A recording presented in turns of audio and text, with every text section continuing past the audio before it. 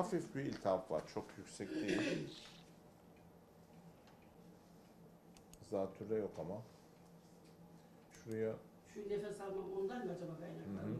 şimdi onu tedavi edeceğiz. Düzelecek inşallah.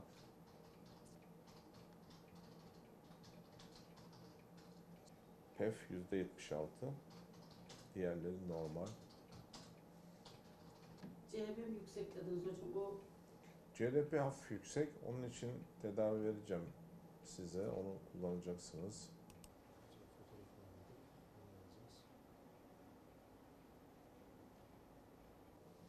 Şöyle tutuyoruz ilacı. evet, Parmağımızı geçirip böyle açıyoruz. evet. Sonuna kadar dayanacak. Bu sesi duyacaksınız. Duyuyorum hocam. Sonra tekrar bu mandarı da çevirip bunu da sonuna kadar dayıyoruz. Bu sesi de duyacağız. Evet, Şimdi bu cihaz kullanıma hazır. Bunu şöyle bırakabilirsiniz. Böyle dik oturuyorsunuz ve karşıya bakıyorsunuz. Aşağı değil yani böyle olmayacak. Şöyle yukarı da olmayacak. Tam karşıya bakacaksınız. Nefesinizi veriyorsunuz. İçeriği boşaltıyorsunuz. Sonra bunu ağzınıza alıyorsunuz. Sıkıca dudaklarınızı kapatıyorsunuz. evet. Bunun içinden hızlı, derin ve güçlü bir nefes Aynı alıyorsunuz. cadımız gibi yapıyorum hocam. Aldığınız nefesi geri vermiyorsunuz. Bunu ağzınızda tutmayın. Nefes aldıktan sonra kapatın, bunu koyun. Nefesinizi tutun içinizde. İçinizden birden 15'e kadar sayın. Bir 10 saniye kalsın o ilaç içeride. Sonra ağzınızı kapatın, burnunuzdan nefesinizi geri verin.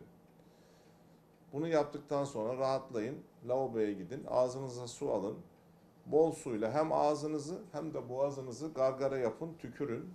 Üç kez bu gargayı tekrar edin. Oldu mu? Tamam. Üstüne de bir bardak su için. Bir de gargara yapmıyordum ama diğer dediklerinizi hep yapıyordum. Sabah bir kez, akşam bir kez bunu düzenli kullanacaksınız. İyi olsanız da, kötü olsanız da düzenli alacaksınız. Anlaştık mı? Anladım.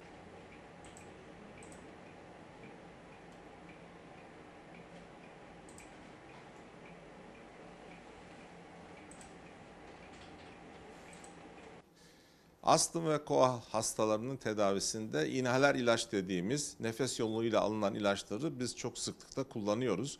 Bu ilaçlar ağızdan alınan hap gibi ilaçlara göre çok daha güvenli, çok daha etkili ve daha düşük miktarlarda dozda tedavi imkanı veriyor. Dolayısıyla bu ilaçlar gerçekten astım ve koa tedavisinde vazgeçilmez, yeri doldurulmaz ilaçlar. Ama ne var ki bu ilaçların kullanımı özel bir beceri ve koordinasyon gerektiriyor. E, maalesef hastalarımızın birçoğu bu e, koordinasyonu e, sağlamakta güçlük çekiyorlar.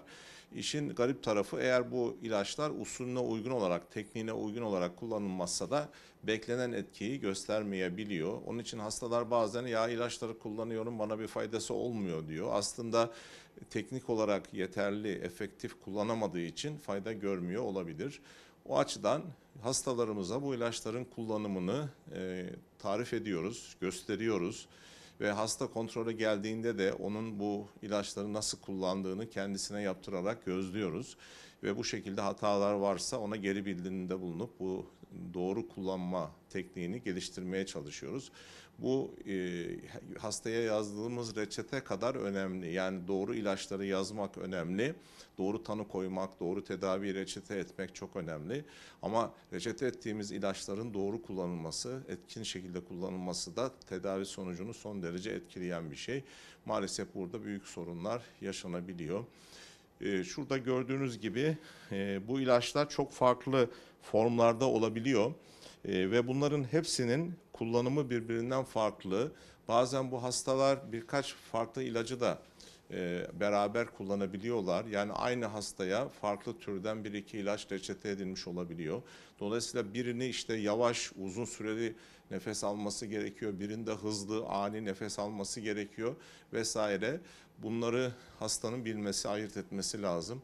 E, Burada zorluklar yaşanabiliyor. O açıdan bu e, inhaler ilaçların çok önemli olduğunu ama doğru kullanılması gerektiğini, doğru kullanıldığı takdirde etkin olduğunu tekrar vurgulamak isterim. Burada hasta eğitiminin gerçekten çok önemli bir rolü var. Şimdi şu ilacı kullanıyorsunuz değil mi? Kullanıyorum hep. Şimdi ben size bu ilacı nasıl kullanıldığını tarif edeyim. Siz kullanıyorsunuz ama doğru kullanıp kullanmadığınızı kendinizi test edin olur mu? Ben anlatayım size ilacı. Tamam hocam.